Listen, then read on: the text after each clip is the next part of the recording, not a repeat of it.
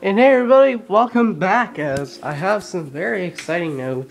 Uh, last time I told you I had waited about, well I didn't tell you last time, but I waited about 20 minutes for GameStop to uh, answer about the codes. They said they didn't have any, and uh, Nintendo, or uh, GameSpot, or Game GameSpot, or GameStop had told them that uh, Nintendo had the demo out on the eShop, but when I looked there, it wasn't there. So, basically what I did is I said a lot of things to the guy that I do not regret because he was being a giant asshole.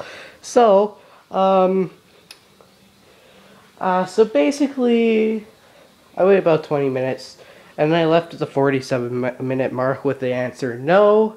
So I called Nintendo about it. I told them, I told them what uh, GameStop had told me, and uh, I guess one of the ladies that was there, she uh, offered, uh, she offered to send uh, a reference number to me and an email explaining what happened. So uh, one of them would send me the code for the Omega Ruby and Alpha Sapphire demo, which she, which she said I should get in about five to seven days.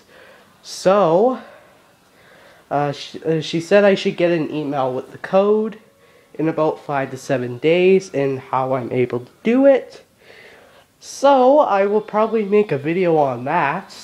Although I don't have 3DS recording equipment, so I'll probably just aim my iPod at the camera or probably aim my iPod at the DS the entire time when I actually get the demo with unlimited uses. So, we come back next time, next time will probably be when I get the demo. So, see you then.